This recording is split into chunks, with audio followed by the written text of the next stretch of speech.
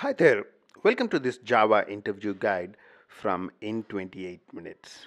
In this series of videos, we are covering a lot of interview questions on different Java topics. As you already know, in 28 minutes is famous for all its interview question videos. We have interview question videos on lambda expressions, multi-threading, collections, exception handling, and also we have a lot of different videos on JUnits, design patterns, Eclipse, Mockito, Spring MVC and stuff. In this series of videos, we are covering interview questions on OOPS, Advanced Java, Servlets, JSPs, Design Patterns, JDBC, J2EE, Maven, and Eclipse. All the information about different questions that we would discuss is on the GitHub repository. github.com in 28 minutes. In Hi there, welcome to this video on interview questions on J2E. Let's start with the basic question. What is Java EE? What is Java EE? Java EE is nothing but a specification. So it just says a documentation or an interface.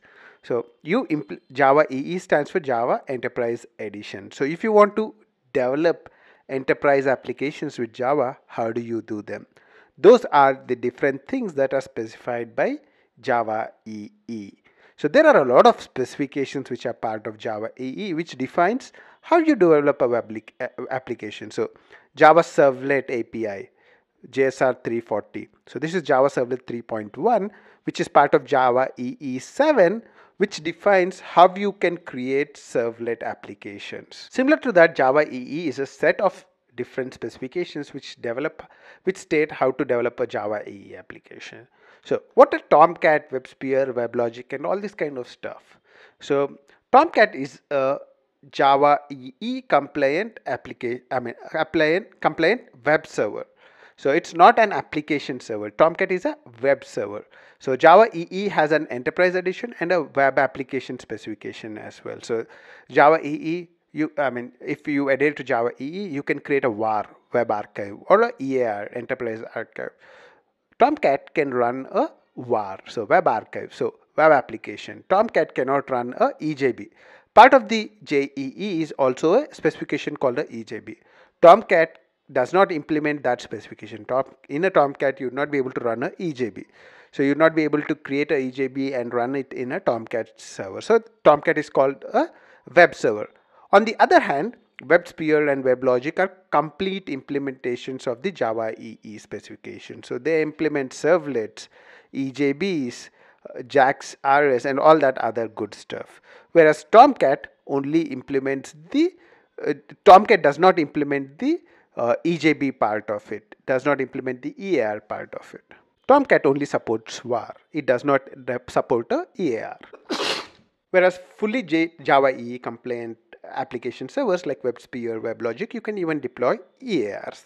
So WAR is a web archive. It defines how your web application should be constructed. For example, uh, this is one of the WARs which we created as part of one of our web applications. Uh, if you look at this WAR file, it contains a WebINF and a MetaINF. And WebINF contains classes. These are all the Java classes, uh, all the common JSPs, uh, your library files are inside the lib. So these are all the dependencies that are needed to run this web application. These are all the JSPs and this is the web.xml. So this is a WAR file. So this is the content of a WAR file. When I extracted a WAR file, this is what was present. So WAR file contains all the things that are needed to run a web application, a simple web application. A EAR is a combination. It can contain a WAR, uh, then it can contain a EJB module as well. So an EAR contain multiple WARs or EJB modules. So EAR is uh, one level above the WAR. So if you want to create a EAR with one WAR, you can do that. Or you can create an EAR enterprise application archive with multiple WARs and multiple EJB jars as well. That's possible. And EARs are what you deploy into WebSphere and WebLogic typically. I mean, not always. Most of the times you deploy EARs here. And WARs are what you deploy into Tomcat. Next, we would discuss what are containers and what are the different types of containers. If you look at containers, there are two kinds of containers. One is the server side and the other one is the client side. So when you actually download a Java application and run it on the client side, then we have these client side containers. One is to run a Java client side application, application client container, and you have applets which can run on the client side as well. These are run as part of the applet containers. Very few people use these anyway. So we'll restrict our discussion to Java EE servers, which are the application servers and uh, these applications EE servers contains two kinds of containers. One is the Java container, the web container. The web container can run things like servlet. So the web container satisfy servlet uh, APIs. And the EJB containers are where you can deploy your EJBs, all your enterprise beans, session beans, all of these kind of things are what you deploy in an EJB container. So if you look at all the typical web servers like Tomcat, uh, they would provide a web container. So they would allow you to host a, I mean, you create servlets. However, if if you're talking about a full-scale uh, web application Java EE server, uh, then you're talking about a web container and a EJB container as well. Those are called application servers. For example, WebSphere, uh, WebLogic. These are good examples of the Java EE servers. In summary, a web container can run servlets. A EJB container is where you host your EJBs. And Java EE server is made up of web container and EJB container.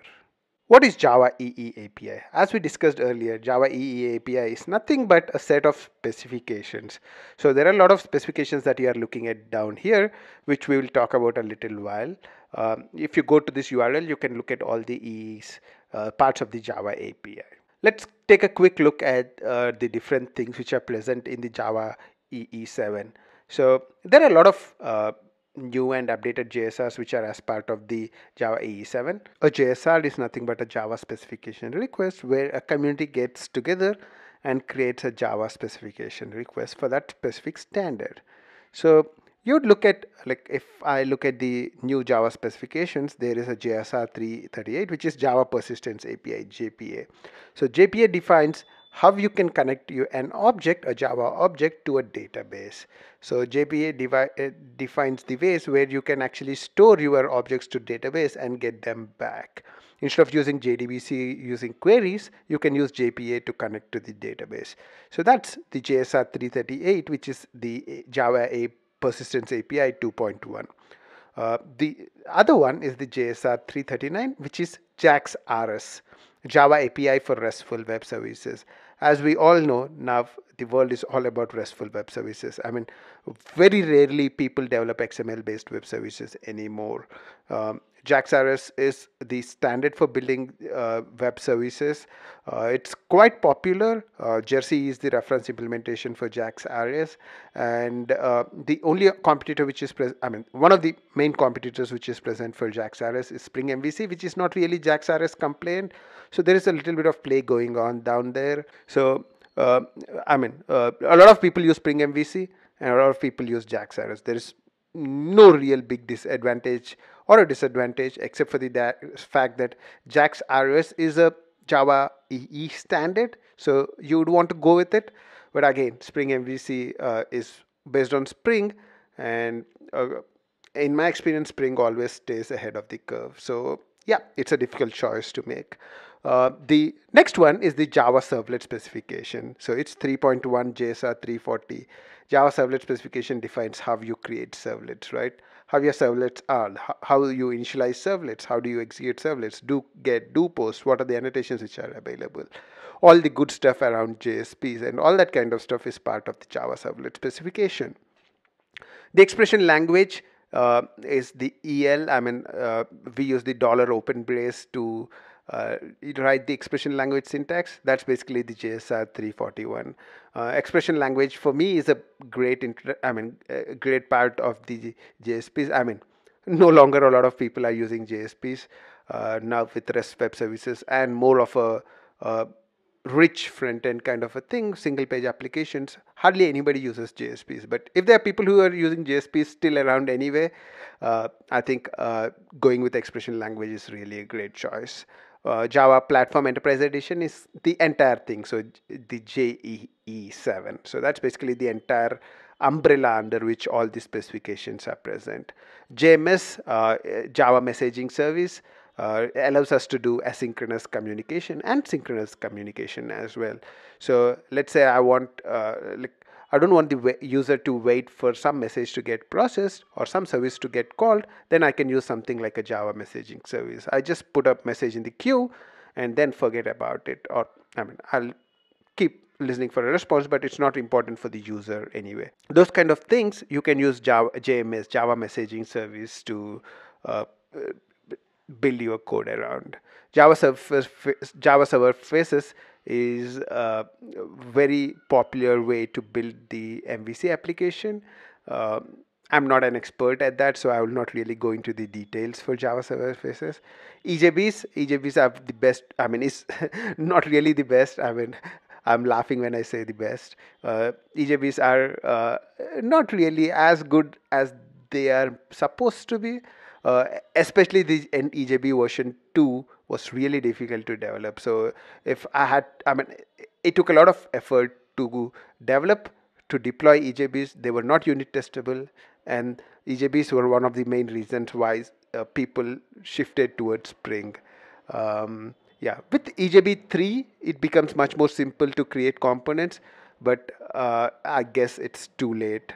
Uh, nowadays, uh, I doubt if a lot of people go for EJBs. Uh, if you really have good experience with EJBs, I request you to post them so that I can read them and learn from there. Um, context and dependency injection for Java EE. That's a good uh, introduction to Java EE. Again, I guess a little late because uh, Spring is the typical framework which is used for dependency injection and CDI is kind of late into the picture even though Spring is adhering to some of the parts of the CDI. I think uh, against Java EE is a little late with the CDI. I, I, I, hardly see a lot of people using the CDI anyway. Uh, bean validation is another good introduction into the Java EE. So when I uh, do a web form binding or something of that kind, I would want to check whether the bean satisfies certain validations. And bean validation allows us to specify those validations using uh, annotations and it makes it very easy to define those validation as well. Hibernate validator is the reference implementation for bean validation and I find it really good. Again, uh, JSR 352 to develop Java batch applications is again one of the things which is based on Spring Batch. So it allows, allows us to develop batch applications on Java platform, long overdue. This is the 1.0 version, so I would really I have not tried it really yet. So let's see how it works. Mm, what is JPA? Uh, there is a complete repository on JPA which is available. Uh, you can go through the example in there, and there is a sample code work in progress.md which has a sample code which you can try and go through. One of the important things I would really recommend you to uh, do after this specific video is to look at Java EE design patterns.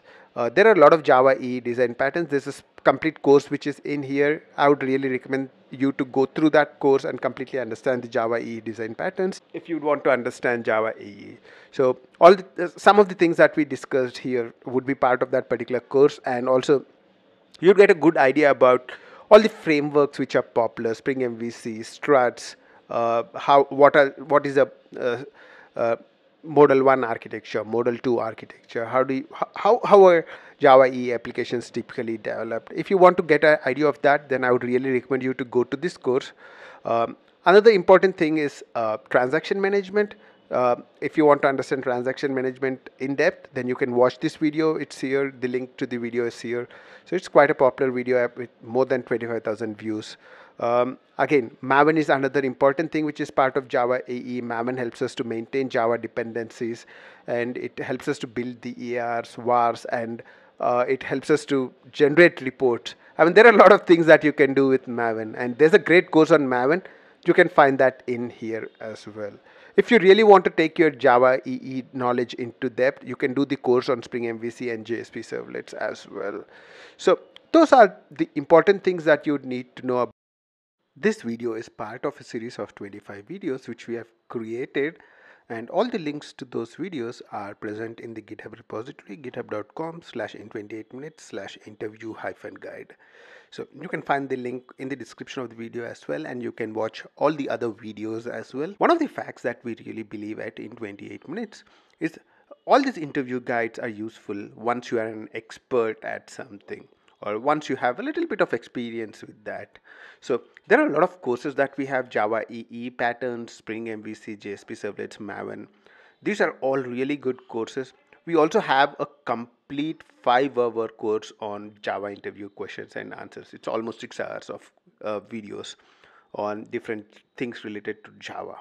So uh, those are the things I think you'll find interesting after watching this video and if you liked it I'm sure you'll like the other courses as well. So give them a try see if you like them. Uh, uh, you can make the best use of this git repository which is present in here. Good luck with all your interview preparation.